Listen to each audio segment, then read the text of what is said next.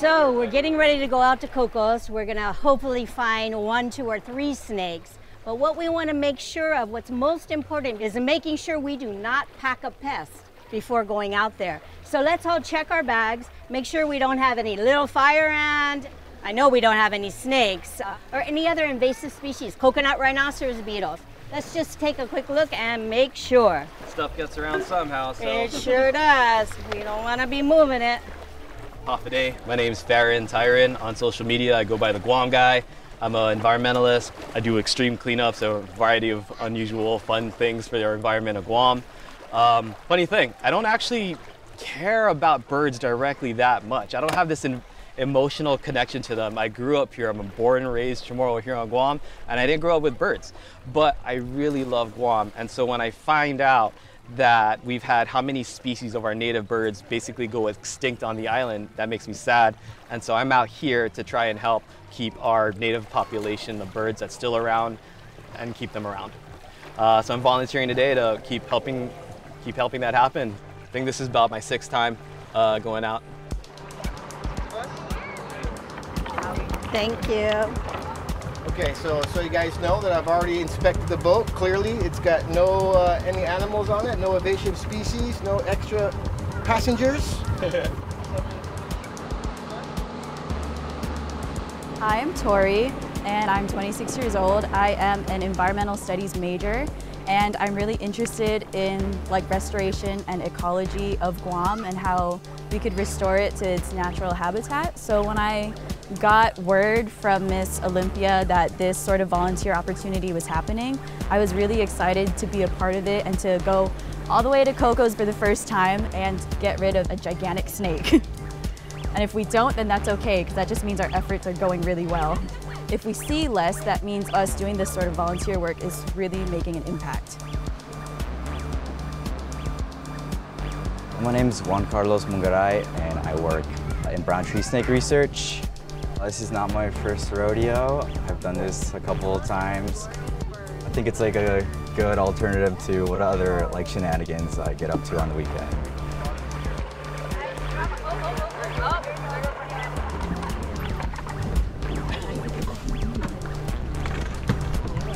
Okay, we're going back on the other boat. You guys quit. Tautosi Joni Kenga Kerr. I am an associate professor of science at Guam Community College. Here on Dano or Cocos Island, you can wander the grounds. At least this is what I used to do with my students in marine biology. We would come here and it was like our outdoor classroom. We would go from one end of the island to the other, going through the forest, uh, checking out the sandy area at the northern end and at the southern end, looking at more of a beach strand, foresty environment. And, and in those places you can also see some native plants.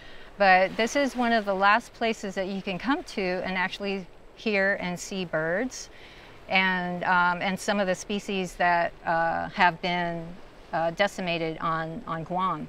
So that's my interest in helping to protect Dano and eliminate these nasty snake invaders from, from the island.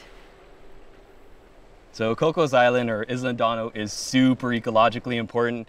Uh, first thing that comes to mind, there's probably about 40 to 50 native ko'ko' or, or Guam rail here. And this island is the last bastion, the last chance um, they have until we figure something else out uh, between Guam and here.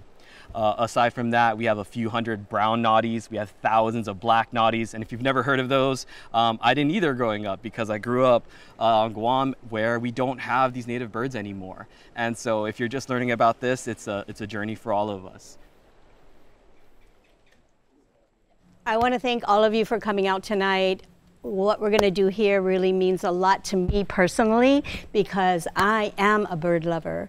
And what we're doing is we're protecting the birds that are here from these snakes. And hopefully we're going to get at least one or two. So we want to make sure we get them. And that Sali is another reason I'm here because the Sali populations have been increasing in the, over the last year, what we've heard. Well, trapping doesn't work over here. They've tried it, mm -hmm. and uh, they caught one snake. Huh. Oh. And we've been out here, and we've caught 20. over the year. Yeah. It's just like the math of that real fast. You have like a snake, let's say eating a bird every couple of weeks, uh, 52 weeks a year. That's maybe maybe 26 birds a year um, times how many years a snake lives times how many snakes there are here. So the math really adds up really fast, doesn't it? Yes. um, Who's bringing yeah. the snake home? oh, is that Well, the sun is going down. We need to uh, move it and get ready to look for snakes. So I'll get the lights. Who needs lights? Me. Okay. All right, let me get them. You're. You like one of each, right? Yeah. Here you go.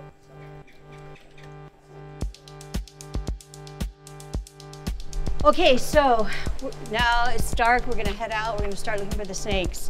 You know, you're looking for the yellow belly. Everyone knows that, right? The the glistening shine of the snake in the tree. But two, at least two people have to keep their eyes on that snake. Do not let that snake get away. All right, shall we? We We're going to snakes night. Just- Yeah.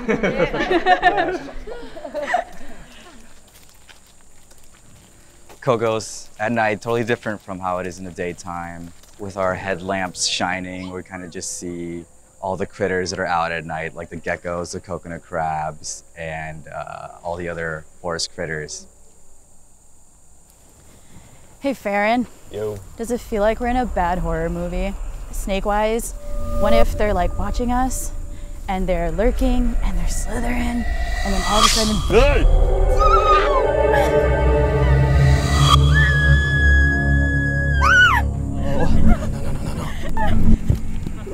Go!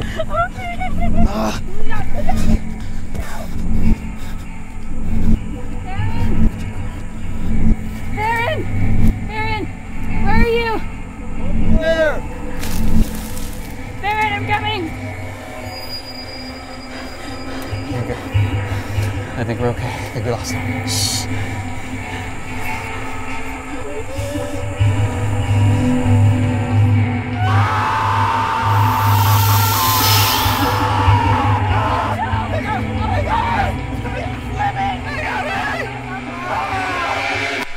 Thankfully, that'll never happen.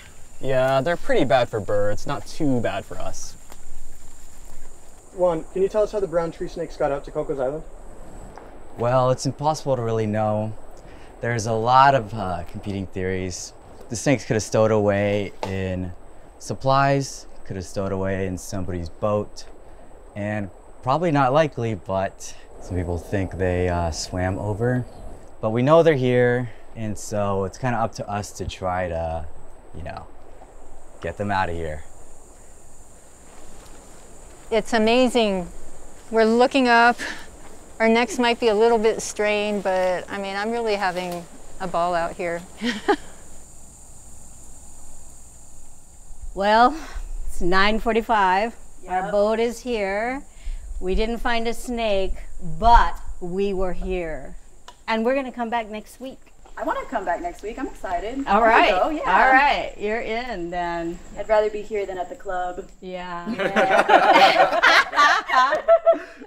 It's always a good night out here. it's always nice to be out here. Yeah. Yeah. Some people like never live on Guam and never come here their whole life.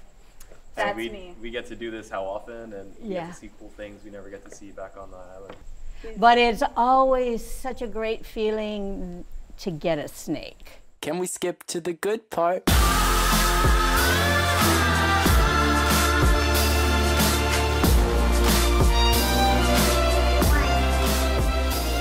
We got one. It's a good four footer, not bad. And this is just one less snake on Islan Dano Cocos Island, and it's not gonna eat anybody else. If there's a good But we'll be back for sure.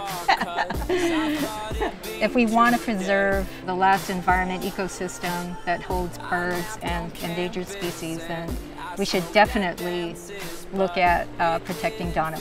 There's uh, some endangered species out here. There's uh, some skinks, some geckos, some lizards that we don't find uh, anywhere else back on the island. Because of all of these animals that we have here, our native animals that we don't have anywhere else, it's super important that we protect the island, that we protect Cocos Islan Dano, and that it's a project that's worth doing and continuing to do.